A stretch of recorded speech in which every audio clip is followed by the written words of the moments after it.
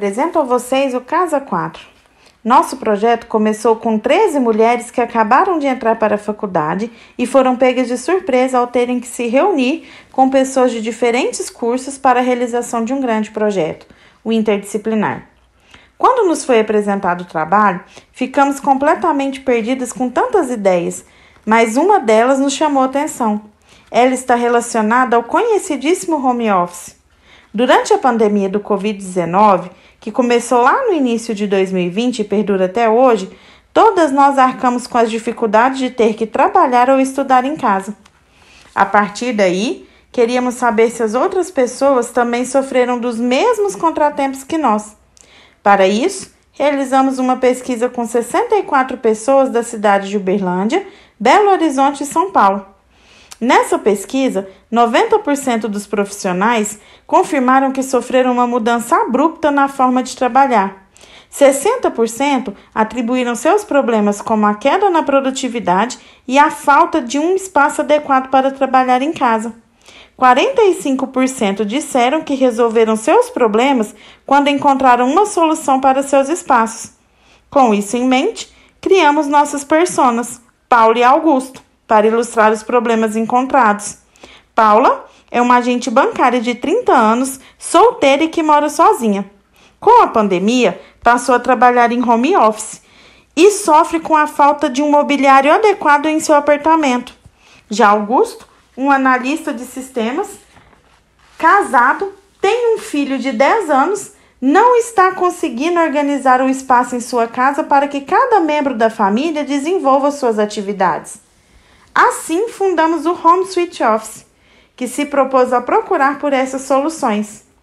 Nesse momento, nos vimos em uma encruzilhada. Precisamos de móveis, mas não possuímos espaço suficiente em casa. Para conseguir esse espaço, precisaríamos remodelar a casa inteira, mas não temos condição financeira para isso, principalmente a curto prazo. E precisamos resolver esse problema o mais rápido possível, porque cada dia que passa nos encontramos mais desmotivadas com o trabalho ou com os estudos. Daí surgiu a ideia: móveis multifuncionais ocupam menos espaço, são práticos e reduzem a quantidade de móveis necessários em uma casa. Com isso em mãos, realizamos mais uma pesquisa com 40 pessoas para validar nossa ideia. 60% delas disseram que é muito provável que continuem a trabalhar em home office mesmo com o fim da pandemia. 80% aprovaram a ideia dos móveis e concordam que eles possam ser a solução. Tendo isso, partimos para o projeto do móvel em si. Nesse exemplo que projetamos, o móvel servirá, quando fechado, como um buffet, um armário decorativo, uma mesa de apoio para a sala entre outras funções, que cabe à criatividade do usuário. Quando aberto, continuará a ocupar quase o mesmo espaço, fora o tampo que transformará em uma mesa.